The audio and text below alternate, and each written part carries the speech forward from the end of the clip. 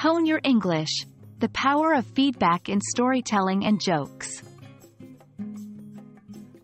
Hello everyone and welcome back. Today, we're going to dive into an essential part of learning any skill, including the art of storytelling and joke telling in English. We're focusing on seeking regular feedback from peers and mentors. It's all about how to incorporate this feedback and continuously improve your English communication skills.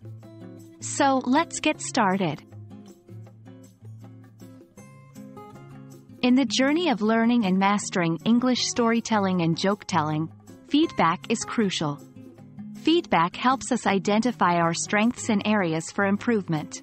It provides us with a different perspective, one that is not our own, and this can be very insightful. Always remember, feedback is not criticism, it's a tool for growth. One of the best ways to assess your progress is by seeking feedback from your peers, your fellow learners who are on the same journey as you. They can provide you with their unique viewpoints, share similar challenges they have faced, and how they tackled them. An important thing to remember while receiving feedback is to be open and receptive, even if the feedback seems tough. It's all part of the learning process. While peers provide an invaluable perspective, the role of mentors cannot be understated. Mentors, being more experienced, can guide you on finer aspects of storytelling and joke telling. They can provide detailed insights into the language, delivery, and timing, helping you hone your English communication skills. Make a habit of seeking regular feedback from your mentors.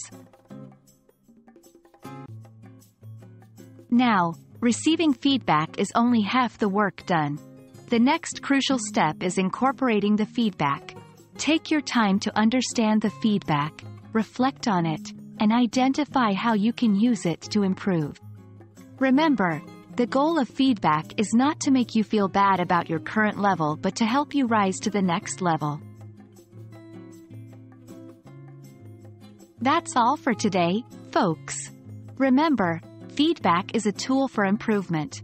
So, be proactive, seek it regularly, and most importantly, incorporate it into your practice. The journey of learning English storytelling and joke telling is a continuous one, and regular feedback can be your best guide. Keep practicing, keep learning, and until next time, happy storytelling and joke telling.